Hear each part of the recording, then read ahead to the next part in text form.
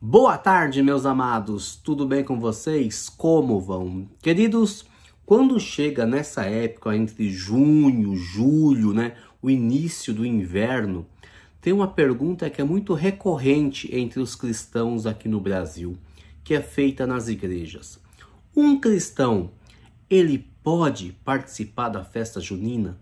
Não é pecado um cristão participar de uma festa junina? Então tem muitas dessas perguntas que são feitas ainda, que geram uma dúvida no coração de muitas pessoas. E a gente vai ver esse vídeo, a qual eu fiz há dois anos atrás, que eu tenho a plena certeza que vai esclarecer muitas dúvidas no seu coração. Vamos pro vídeo? O vídeo é esse aqui, se liga. Meu povo, em ritmo de festa junina, em ritmo de festa junina. Olha a produção do vídeo. É pecado um cristão participar de uma festa junina? Sim.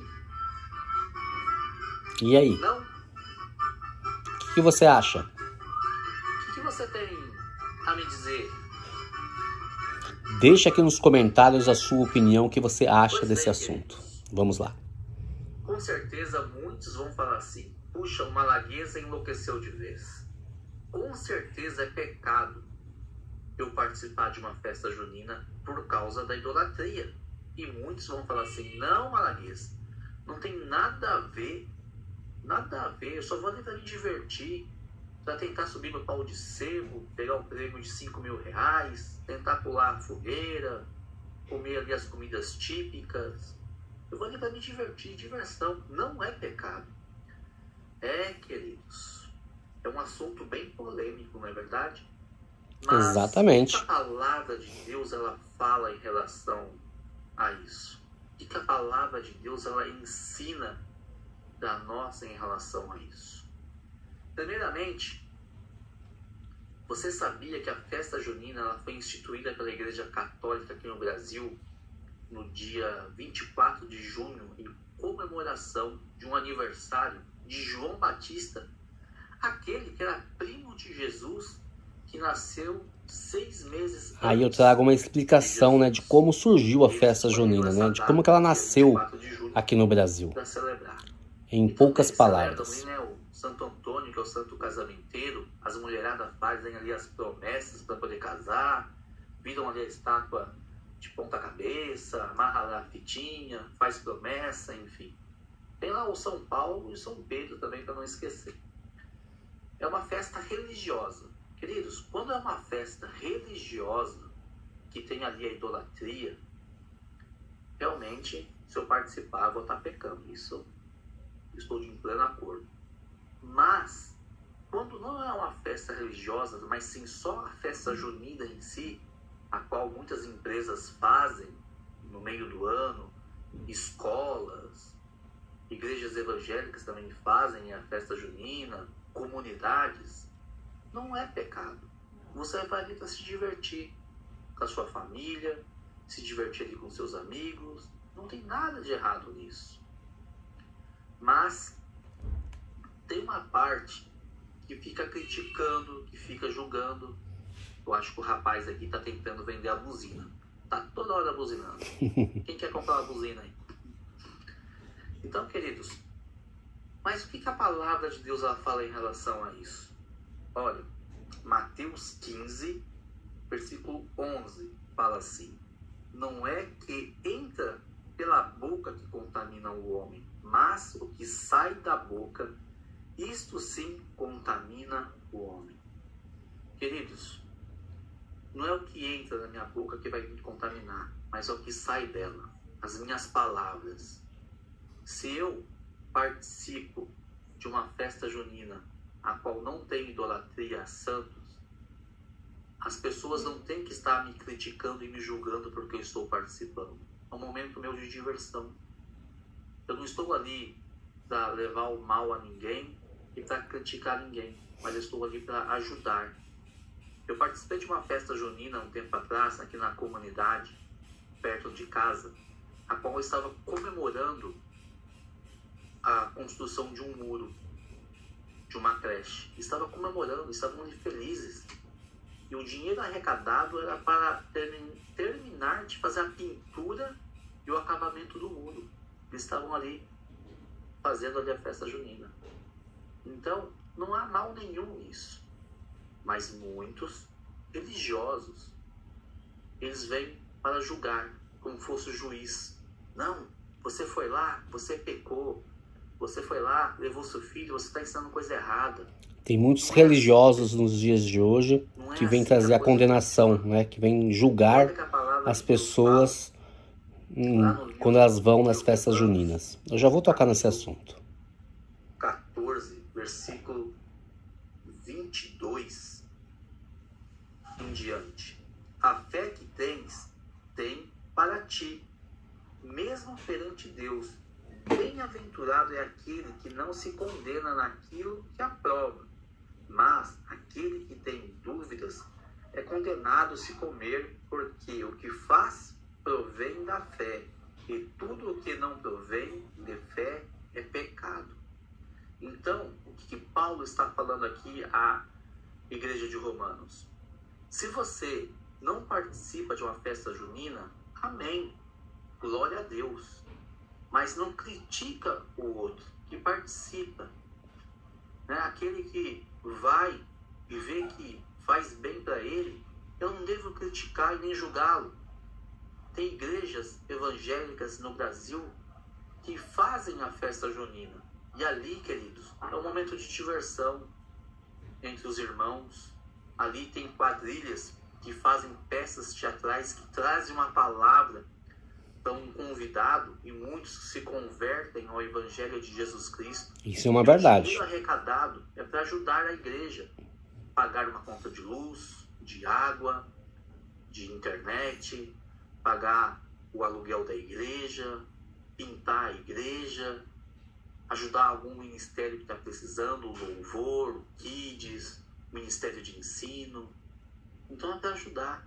E eu não posso estar ali criticando, mas sim ajudando, fazendo a diferença nessa terra. A igreja foi chamada para ser diferença, né? Ser diferente nessa terra.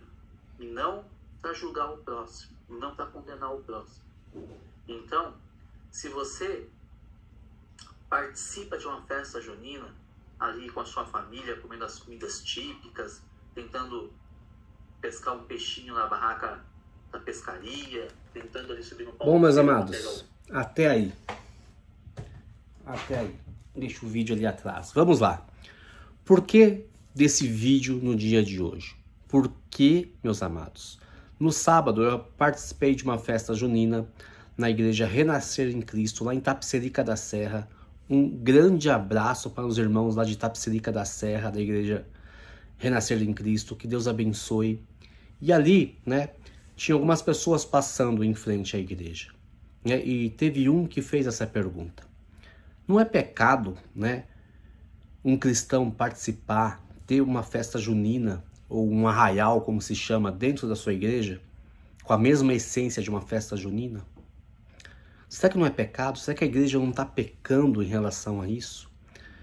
E muitos ali ficaram se questionando tudo e me perguntaram para mim, né? Porque eu vejo ainda que as pessoas que estão chegando na igreja, os recém-nascidos na fé, eles têm muitas dúvidas no seu coração.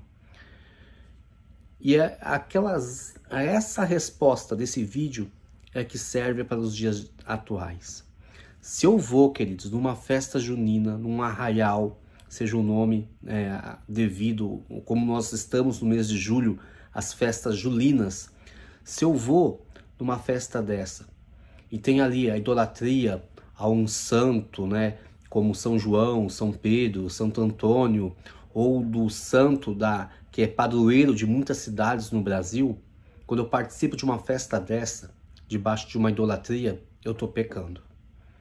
Porque estou ali em concordância, né, com aquela festa e o que está sendo pregado naquela festa. Mas, quando há uma, um arraial né, na sua casa, na sua família, na sua igreja, principalmente nas igrejas evangélicas, né? Estão, são, estão sendo feitas para quem? Para Deus. é consagrado a Deus. E ali é o momento né, de evangelismo, de você levar a pessoa para a igreja. Nesse arraial que eu fui sábado, né, teve ali o evangelismo, né, pessoas aceitaram a Jesus Cristo, o pastor ali pregou a palavra. Foi assim, foi tremendo, mas devido né, o chamamento. Então, queridos, né, quando eu, eu participo de um, um evento, de um arraial gospel, como é dito popular, está tudo sendo feito para Jesus Cristo. Está tudo sendo feito para a glória de Deus. Então não há pecado né, eu participar, eu levar os meus filhos, de eu ensinar os meus filhos o que é o correto, os valores corretos que a gente tem que pregar no dia a dia. Então não é pecado. Só que acontece? Os religiosos, aqueles que vêm para trazer o jugo, para trazer o peso, eles ficam apontando o dedo e condenando esses irmãos, condenando essas igrejas, criticando. E nesse próprio texto de Romanos capítulo 14, Paulo fala, né? Não julgueis, né? Não apontei o dedo, não trazei a condenação, não trazei o jugo, a qual muitas pessoas, né, muitos religiosos nos dias de hoje usam a palavra de uma forma pesada para trazer uma maldição, uma condenação na vida de muitas pessoas. Então, né, tenha uma vida equilibrada, uma vida espiritual equilibrada, né? Consulta a Deus, busca o Espírito Santo. Não dê ouvido às vozes né, da religiosidade que vem para te condenar. Né? É só você ali colocar o termo na balança. É uma festa a qual tem ali o, o padroeiro da cidade, você vê que é uma festa católica, amém. Não vai. Se sinta em paz e não critica quem vai. Agora, se você vai numa festa a qual a igreja é evangélica, a comunidade é evangélica, né, está ali adorando a Jesus Cristo, onde tem um louvor e adoração a Deus, não tem problema nenhum.